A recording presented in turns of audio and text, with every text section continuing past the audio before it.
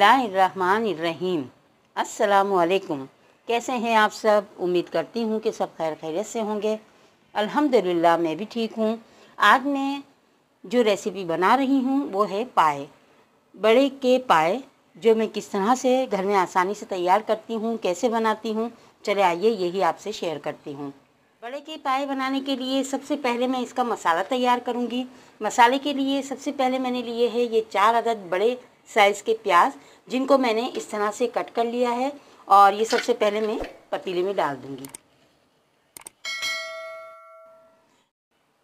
प्याज डालने के बाद अब मैं लूँगी ये लहसुन, जो कि मैंने ये तीन अदद इस तरह से बंच लिए थे, उनको छील लिया और ये मैं अब इसी में डाल दूँगी। एक टेबल स्पून भरकर मैंने अदरक का लिया है, जिसको मैंने पीस लिया है। अब इसमें मैं डालूँगी सबसे पहले एक टेबल स्पून नमक। दो टेबल स्पून लाल मिर्च का पाउडर एक टीस्पून हल्दी पाउडर एक टेबल स्पून सूखा धनिया पिसा हुआ।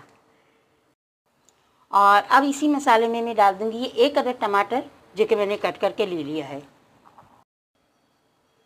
और इसमें ये चार से पाँच मैं हरी मिर्चें भी डाल दूँगी।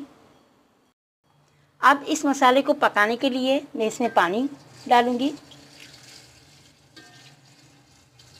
और जब ये मसाला पक जाता है इनशाला उसके बाद आपको दिखाऊँगी मैं।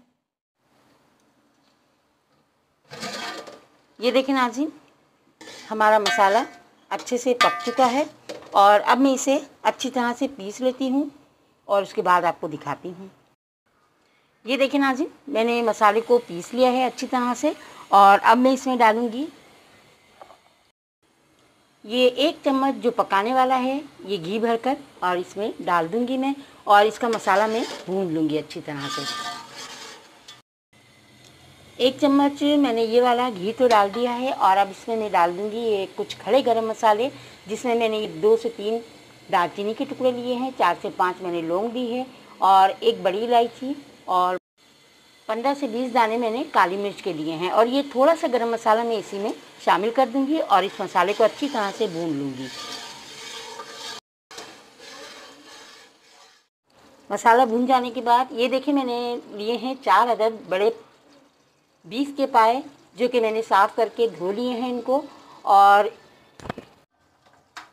और ये सारे पाए मैंने इसमें डाल दिए हैं। अब पाए डालने के बाद भी मैं थोड़ा सा इनको भून लूँगी, ताकि ये अच्छे से भून जाएँ।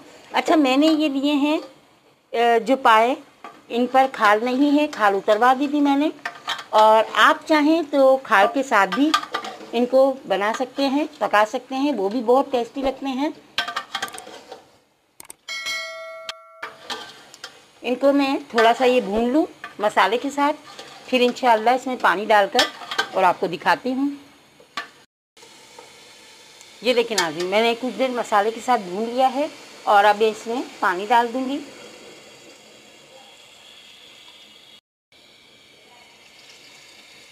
हमें पानी इतना डालना है कि ये पाए अच्छी तरह से इसमें डूब जाए। ये देखिए नाजिन मैंने इतना पानी इसमें डाल दिया है और अब इसे कवर करके मैं उबाल आने का इंतज़ार करूँगी। उबाल आने के बाद इनको पाँच से छः घंटे तक इनको पकाऊँगी। धीमी आँच पर और इन उसके बाद आपको दिखाऊँगी। आप चाहें तो इन पायों को प्रेशर कुकर में भी बना सकते हैं। उसमें तकरीबन एक से डेढ़ घंटा ही लगेगा। लेकिन पायों का मज़ा इस तरह से है कि जब ये धीमी धीमी आँच में पाँच से छः घंटे पकेंगे तो बहुत ही अच्छा इसकी यखनी और सूप तैयार होगा, जो कि बहुत ही टेस्टी होता है। इन मैं पाँच से छः घंटे इनको पकाने के बाद आपसे मिलूँगी और और इसे बीच में चेक ज़रूर करती जाऊँगी कि इसमें पानी ख़त्म ना हो जाए।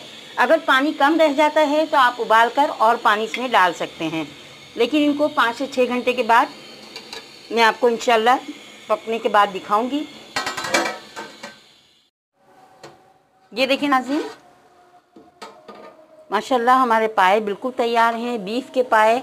और मैंने इनको छः घंटे से ज़्यादा पकाया है। और आप देखें इसका माशाल्लाह शोरबा बहुत प्यारा गाढ़ा सा हो गया है और माशाल्लाह इसमें लेस भी बहुत अच्छी बनेगी। और ये देखें आप कि सारी बोटियाँ वगैरह टूट रही हैं। और अब मैं इसमें आखिरी में डाल दूँगी ये आधा टीस्पून पिसा हुआ गरम मसाला। और इसी वक्त आप नमक वगैरह भी चेक कर लें कि नमक कम तो नहीं है। और बस इंशाल्लाह मैं आपको डिश आउट करके दिखाती हूँ। अगर इसमें ऊपर आप देखें कि रोगन तरी नहीं आई है। तो कुछ देर के लिए ढक्कन ढक कर और आप चूल्हा बंद कर दीजिए। इंशाल्लाह ऊपर रोगन और तरी आ जाएगी। उसके बाद इंशाल्लाह मैं आपको डिश आउट करके दिखाती हूँ। ये देखें नाजिन माशाल्लाह हमारे बीफ के पाए बिल्कुल तैयार हैं। और ये देखें आप, इसके ऊपर रोगन भी आ गया है। बहुत ही आसान और बहुत ही सादा सी ये रेसिपी है, जो आप घर में ज़रूर ट्राई कीजिएगा। अगर आपको पसंद आती है तो मुझे कमेंट करके ज़रूर बताइएगा कि आपकी कैसी बनी, आपको कैसी लगी। और जाते जाते आपसे वही पुरानी गुजारिश कि अगर आप मेरे चैनल पर नए हैं तो मेरे चैनल को सब्सक्राइब कीजिए। रेसिपी पसंद आती है तो लाइक भी दीजिएगा। साथ ही साथ बेल के बटन को प्रेस कीजिएगा ताकि मेरी आने वाली हर नई रेसिपी आप तक पहुँच सके। इन अगली और नई रेसिपी में आपसे फिर मिलूँगी। तब तक मुझे दुआओं में बहुत याद रखिएगा। अल्लाह हाफिज़।